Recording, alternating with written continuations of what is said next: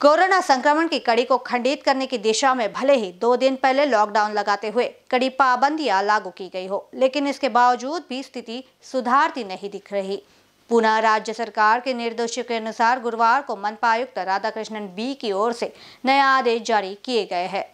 इसके अनुसार विवाह समारोह के लिए छूट तो प्रदान की गई, किंतु अब समारोह में केवल 25 लोगों की उपस्थिति की शर्त ला दी गई है। इसी तरह केवल दो घंटे के भीतर विवाह समारोह का निपटारा करना होगा। यदि इन नियमों का उल्लंघन किया गया तो आयोजकों पर पचास हज़ार रूपयों का भारी जुर्माना लगने के कड़े आदेश जारी किए गए हैं। जारी किए गए नए आदेशों के अनुसार निजी यात्री परिवहन बसों को छोड़कर ड्राइवर और पचास प्रतिशत क्षमता के अनुसार केवल इमरजेंसी और अत्यावश्यक सेवाएँ एवं वैध कारणों से ही छूट मिल सकेगी। अन्यथा इसका का उल्लंघन होने पर संबंधित पर दस हज़ार का जुर्माना ठोका जाएगा। इसके अलावा निजी बसों के इंटरसिटी और इंटर डिस्ट्रिक्ट परिवहन पर पाबंदी लगाई गई है। केवल अत्यावश्यक सेवा और मेडिकल इमरजेंसी शव यात्रा या फिर किसी परिजन के बीमारी के लिए ही इसकी छूट दी जा सकती है। इसके लिए भी केवल दो स्टॉपेज की मोहलत दी गई है। ऑपरेटरों को यात्रियों के हाथों पर होम क्वारंटाइन का स्टैंप लगाना अनिवार्य होगा। नियमों का उल्लंघन होने पर दस हज़ार का जुर्माना ठोका जाएगा। नए आदेश के अनुसार केंद्र, राज्य और स्थानीय सरकारी कार्यालयों में केवल पंद्रह प्रतिशत कर्मचारियों की उपस्थिति को मंजूरी दी गई है।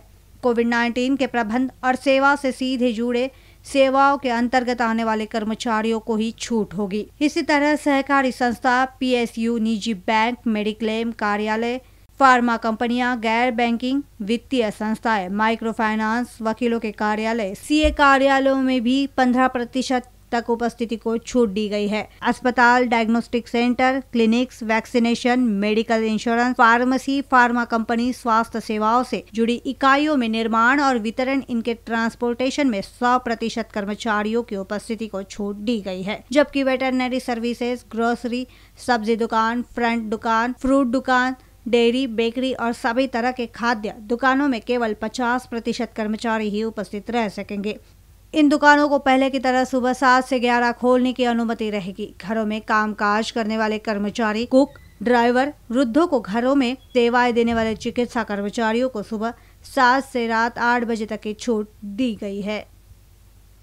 कैमरा पर्सन राजकुमार मोहर के साथ अभिषेक पांसे की रिपोर्ट बी न्यूज़ नागपुर।